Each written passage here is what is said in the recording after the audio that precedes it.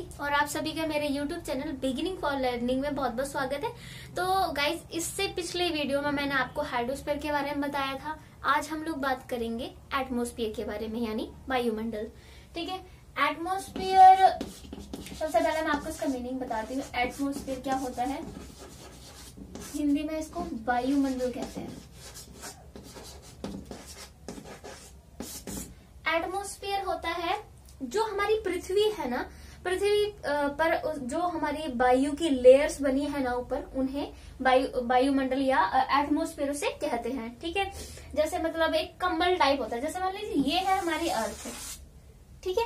अब पृथ्वी ये हमारी अर्थ हो गई। अब पृथ्वी पे ऐसी ही बहुत सारी एक कंबल की तरह से पृथ्वी को ओढ़ रखा है, जैसे हम हैं मतलब जी ये कोई बंदा है, ठीक है? अब उसने अपने को ऐसे कंबल से पूरा ढक रखा है। तो ये जो बाहरी है ना, ये है एटमोस्फियर ठीक है?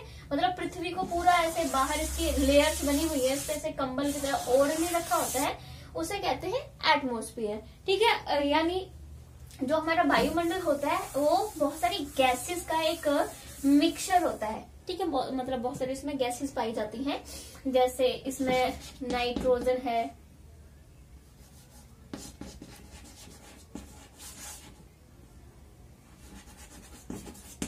नाइट्रोजन हो जाएगा, ऑक्सीजन, है ना? Carbon dioxide.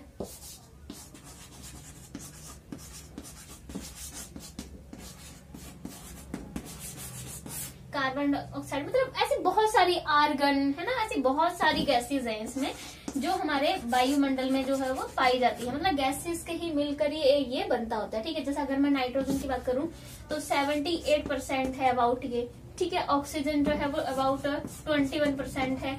और बाकी जो हमारा वन परसेंट बचता है, वो जैसे ये ज़ीरो पॉइंट थ्री परसेंट आ जाती है, और आर्गन भी ज़ीरो पॉइंट थ्री परसेंट आ जाता है मतलब ये सारे गैसेस से मिलकर वायुमंडल जो है वो बनता है, और ये गैसेस का ये इस तरह से अनुपात पाया जाता है, ठीक है, हमारे वायुमंडल में।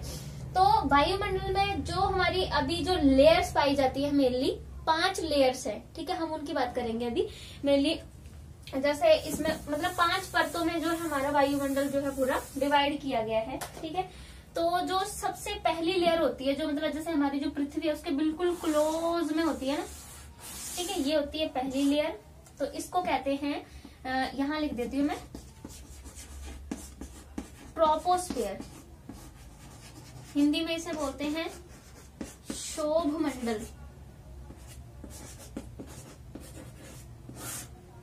शोभ मंडल ठीक है? देन ये जो सेकंड लेयर होती है, उसे कहते हैं स्ट्रेटोस्फेयर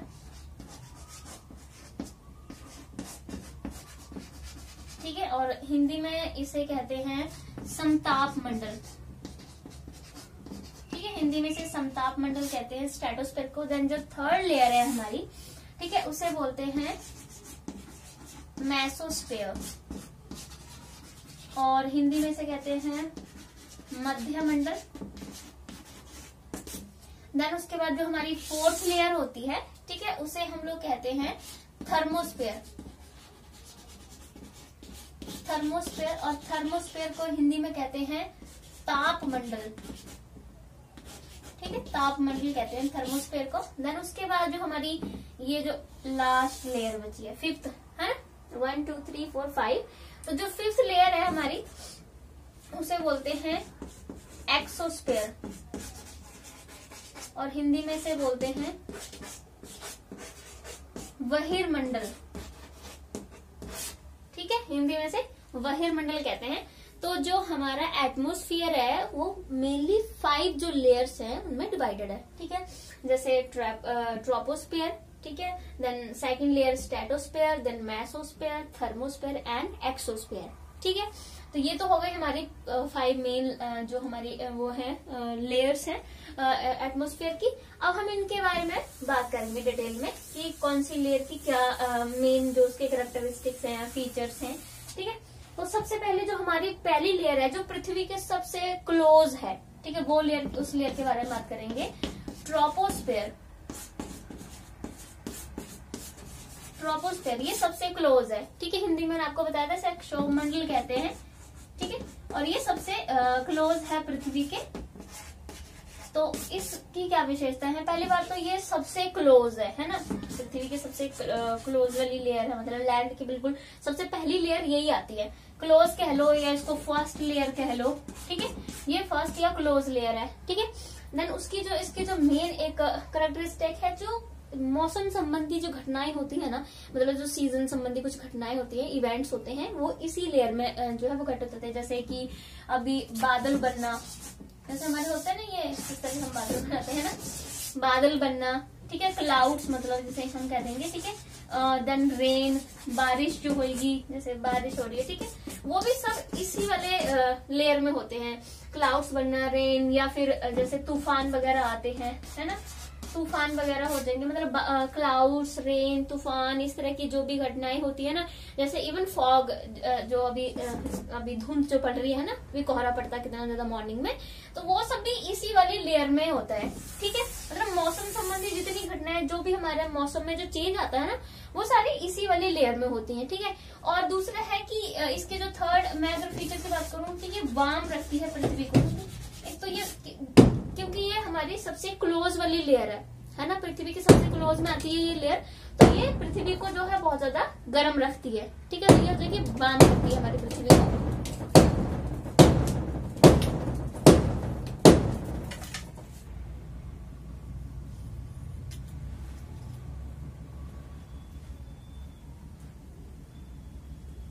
ओके तो ये हमारी होगी पहली लेयर ठीक है? बाम रखती है सबसे ज़्यादा मतलब गर्म रखेगी हमारी जो पृथ्वी की सबसे क्लोज तो यही लेयर होती है ना? देन अगर हम, अब हम सेकंड लेयर की बात करेंगे, जो मैंने आपको बताया था। स्ट्रेटोस्फेयर जिसे समताप मंडल कहते हैं, ठीक है? हिंदी में। समताप मंडल ठीक है? स्टेटोस्फेयर इसमें क्या होता है? मेनली जो इसके फीचर्स होते हैं कि जो भी हमारे जो एरोप्लेन्स होते हैं, ठीक है मतलब जो भी जितने हमारे जो प्लेन्स वगैरह हो जाएँगे, जो चीज़ें उड़ती है ना, जैसे एरोप्लेन हेलीकॉप्टर जो भी हमारे उड़ते हैं ना, वो सारे स्टेडोस्फेयर में ही उड़ते हैं, ठीक है? और इसकी जो एक और मेन फीचर जो कि हमारी ओजोन लेयर है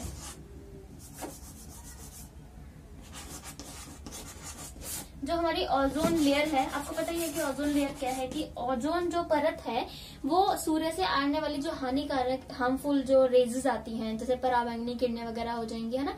जो, जैसे कैंसर वगैरह होते हैं, हम लोगों को स्किन के कैंसर हो जाते हैं तो ये उस लेयर को, जो पराबैंगनी किरण होती है, एक हार्मफुल जो रेज होती है ना? सन की, उनको आने से रोकती है ओजोन परत।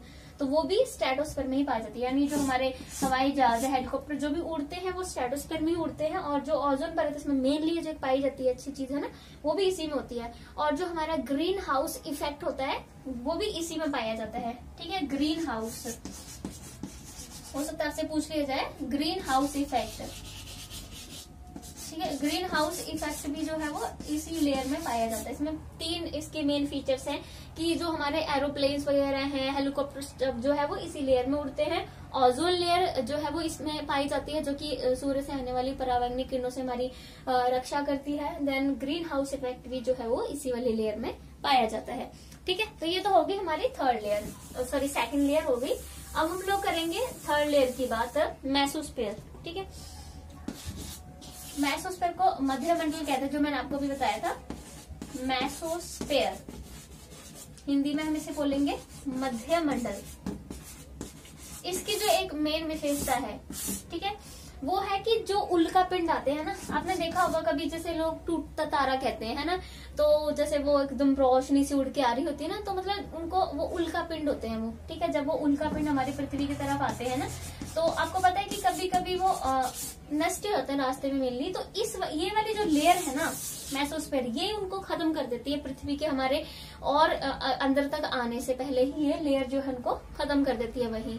पर कभी कभी हो जाता है ऐसा कि पूरी तरह से वो नष्ट नहीं हो पाते हैं तो हम लोग भी यहाँ रह उनको देख लेते हैं ना, कि वो इस तरह से उल्का पिंड गिर रहा है तो वो रोशनी से हम जैसे टूटता तारा कह देते हैं। तो जो भी उल्का पिंड होते हैं, वो ये वाली लेयर उनको खत्म कर देती है वहीं पर, ठीक है? तो ये होगी मैसोस्पेयर की एक मेन विशेषता।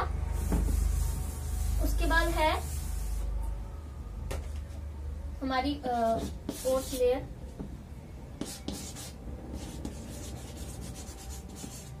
थर्मोस्फेयर जिसे ताप मंडल कहते हैं। ठीक है ये मैसोस्फेयर के बाद जो है वो थर्मोस्फेयर आती है। अभी ये क्या करती है? ये आ, मतलब जो गर्मी है ना उसको सोख के रखती है। इसलिए तो उसको तापमंडल जो है वो कहा जाता है। ठीक है? और इसका जैसे उल्का पिंड वगैरह जो होते हैं वो इस वाले लेयर से गुजर के तो आ जाते हैं महसूस पर, पर वो उसको उनको आगे नहीं जाने देती। वो उनको जो है वो वही खत्म कर देती है। ठीक है? उसके बाद इससे होता है कि इससे ऊपर वाली लेयर हमारी जो होती है वो वही मंडल एक्सोस्फेयर हो जाती है। वो बाहर ही हो जाती है मतलब इतना उसका कुछ रहता नहीं है। ठीक है? एक्सोस्फेयर यानी बहिर्मंडल ठीक है?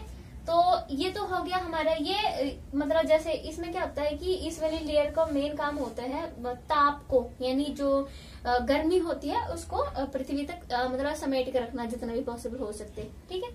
तो ये तो होगी हमारी फाइव लेयर्स ठीक है? अभी फाइव लेयर्स के साथ एटमोस्फेयर भी, इसमें भी हमने इतना डिस्कस करना था। अभी इसके बाद में आपको एक और चीज़ बतानी है, वो है बायोस्फेयर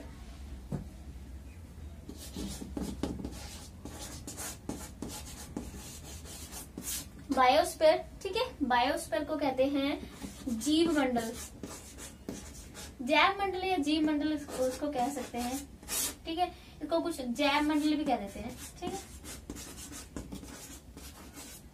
जीव मंडल या जैव मंडल अब, क्योंकि बायोस्पेर जो है उसी में तो जीवन जो है वो पॉसिबल है, ठीक है? क्योंकि जैसे मैंने आपको बताया हाइड्रोस्फेयर में पानी पानी की बात होती है लिथोस्फेयर में जो हमारी बात होती है लैंड की बात होती है ना?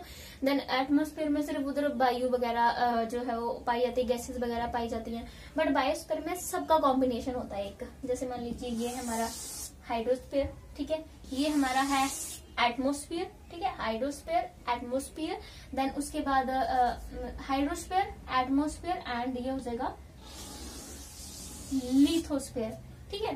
तो अभी जो ये बीच का जो एरिया होता है ना, जिसमें ये सारा कुछ पाया जाता है, ठीक है? जैसे मान लो, अगर मैं इन सबका एक एक हिस्सा ले लू, है ना? तो ये जो बीच वाला एरिया हो जाएगा, यानी इसमें पानी भी होगा, वायु भी होगी, ठीक है? और लैंड भी होगा रहने के लिए, यानी जो बीच का, जिसमें सारी चीज़ें अवेलेबल होती हैं मतलब जीने के लिए जो ऑर्गेनिजम्स होते हैं, उनको जीने के लिए उसे बायोस्पर कहते हैं। अभी जहाँ हम लोग रहते हैं, पृथ्वी पर हम बायोस्पर नहीं रहते हैं ना, क्योंकि हमें यहाँ पर लैंड भी है रहने के लिए, पानी भी है गैसेस वगैरह भी है, सब कुछ है यहाँ पर रहने के लिए, है ना?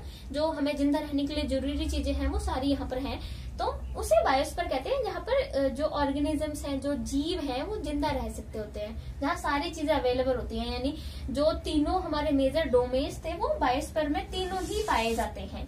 ठीक है? तो ये तो हो गया बायोस्पर अब हमारा इसके साथ ही ये हमारा जो फिफ्थ चैप्टर एनसीआरटी का major domains of the earth ये होता है खत्म। अब हम इसके बाद जो है नेक्स्ट वीडियो में अगला चैप्टर स्टार्ट करेंगे। जब तक आप इसे देखें और जो सीटेट की तैयारी कर रहे हैं उनके लिए तो बहुत ही यूजफुल है। बस साथ में जो सिक्स क्लास के बच्चे भी इसे देख सकते हैं। उनके लिए भी कोई इसमें कोई ऐसी नुकसान वाली बात नहीं है। तो thank you so much guys next video के लिए मैं आप जब तक थोड़ा सा वेट करें, मैं नेक्स्ट चैप्टर के लिए प्रिपरेशन करके नेक्स्ट वीडियो बनाती हूँ। Thank you so much